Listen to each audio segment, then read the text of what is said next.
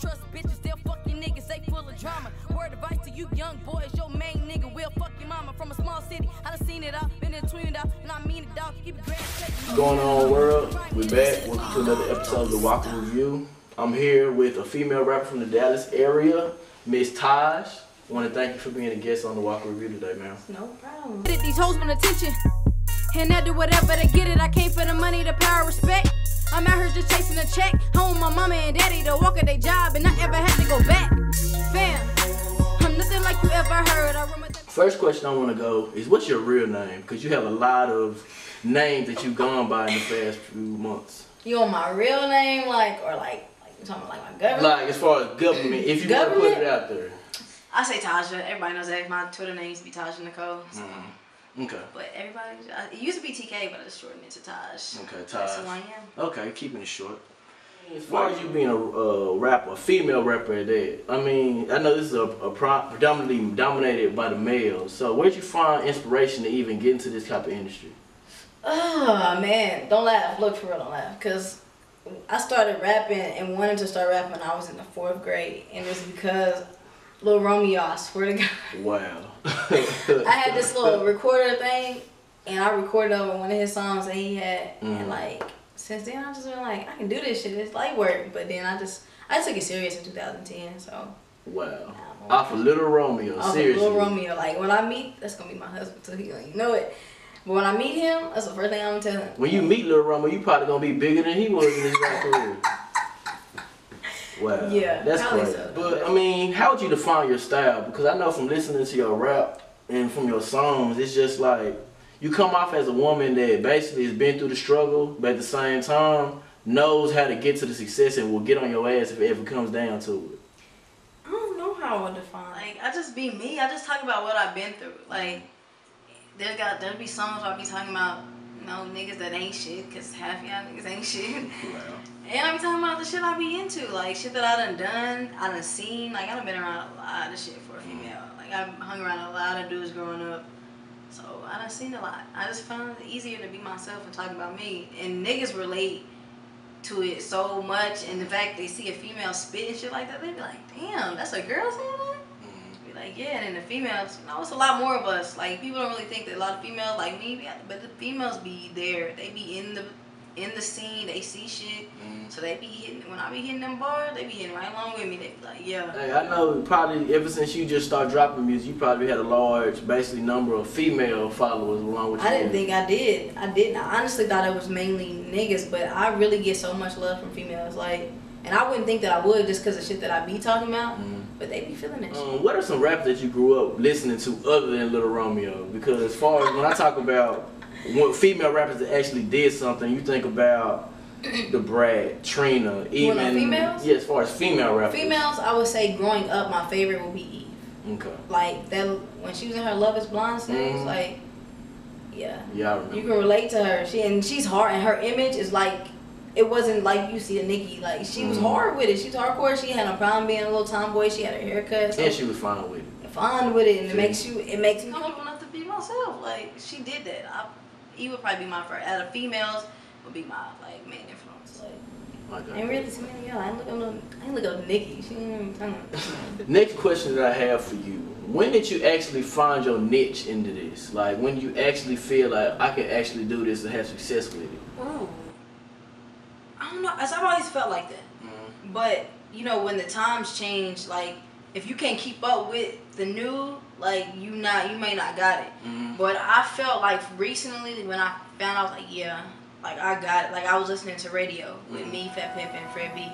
And I was like, I wrote the song. Like that was the first time I ever penned a song, like R&B song to it. And I finally, you know, when you write a song, like the stages it goes through, I promise you, the first take of that shit was trash. But when I finally heard the full version of my song come alive, I was like, I got it, bro. Like I was riding in the car and I was like, I got it. I was like, all you gotta do is just take time and put my money into it and my time to be focused. Like, Uh, I know a couple months ago, actually in the summer, that you participated in the Wave of Dallas. You were like some one of the only female rappers to actually participate in it. As far as how it went and everything, how do you feel like that kind of propelled your career as far as actually getting more exposure around uh, the city of Dallas? it actually got me. It got me a little bit more exposure. It didn't give me as much exposure because I didn't put as much effort into the verse. But it got me enough. Like it, like as far as uh, internet goes, like, it took me to another level. really know Um, this woo beat, but I go K dot just to I mean, I control got the same amount. Got my balls in these niggas. Look how I got bitches choking. That's what these interviews are for, though, and shit like that. It's kind of help you just grow and go to the next level. It just As far as being a female, one, it's not just being a female because in this day and age, you have a lot of people that don't respect females to the, their full abilities.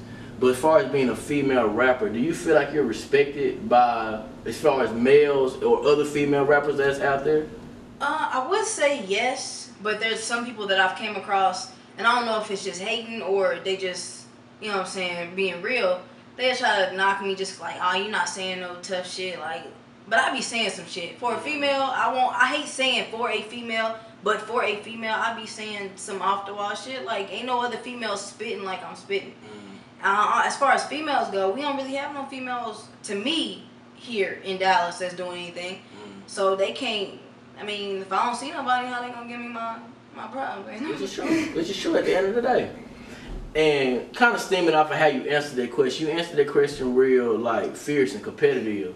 Like It's always a competition. It is though, but like we're kind of in the day and age of rap. It's kind of like sports. It's kind of like you gotta have the competitive edge. You gotta be able to basically see your opponent in the eye and know I'm gonna kill you. You know, you, like, it's always the go. It's always how they say when you get on a song with somebody, you make sure you got the best verse on that song. So if I'm getting on your song with you, you better come hard because I'm coming harder. Like at the end of the day, so it is a competition. Like I done took shots at a couple females that mm. was doing something when I first came out on the Dallas scene. I don't see them no more. right. You made him go in the high. You made him go in my I. I don't see him. At, I don't care. I don't see no competition. I don't. I I don't understand. I understand.